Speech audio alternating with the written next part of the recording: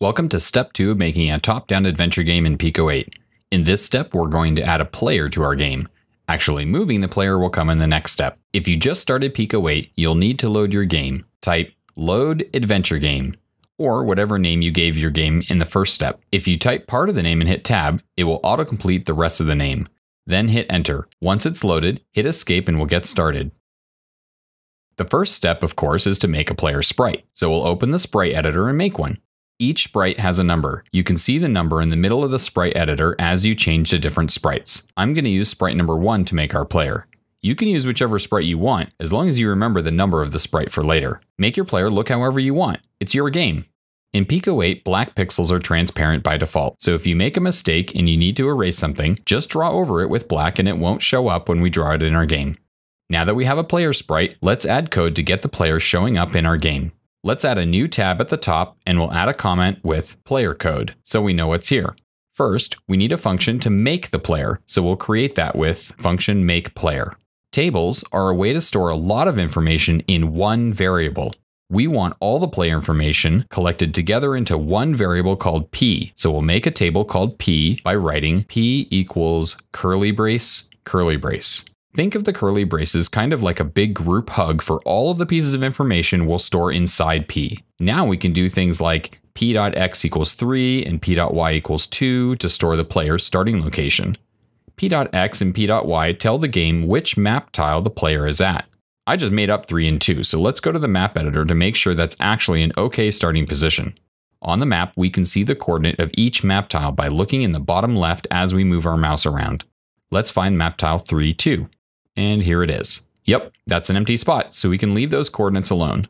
You'll have to find an empty spot on your map and set p.x and p.y starting numbers to match your map. We'll use p.sprite to keep track of which sprite number we're using for the player. Remember, I'm using sprite number 1, so I'm setting it to 1, but you should use whatever sprite number you used for drawing your player sprite.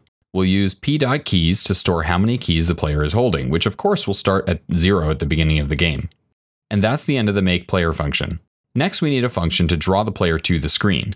This will be a simple function in terms of the amount of code, but there's a bit of explanation into how the code works. Let's write the code and then go over why it works. The SPR, or sprite function, takes three pieces of information. The first thing it needs to know is which sprite number to draw, so we're feeding it p.sprite, since that points to our player sprite.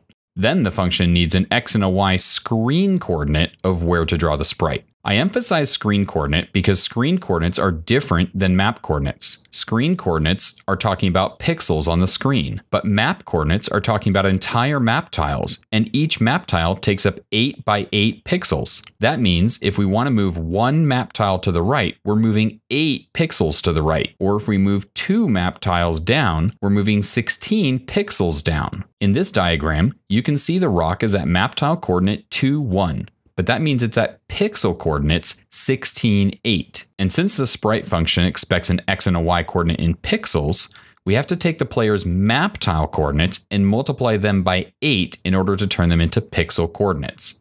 Back to our code, we now have the first two player functions we need to show our player in our game. Let's go back to the game loop and make sure we're using these functions. In the init function, which happens once at the beginning of the game, we'll add make player to create our player. Then, in the draw function, which happens 30 times a second, we'll add draw player. It's important to note that we're drawing the player after we draw the map. This means we're drawing the player on top of the already drawn map. If we did it the other way around, we wouldn't see the player because the map would be drawn on top of the player. Now the map and the player will be drawn to the screen 30 times a second. Let's save the game with Control S and run it with Control R. And there we go, we have a player in our game. In the next step, we'll get our player moving around the map.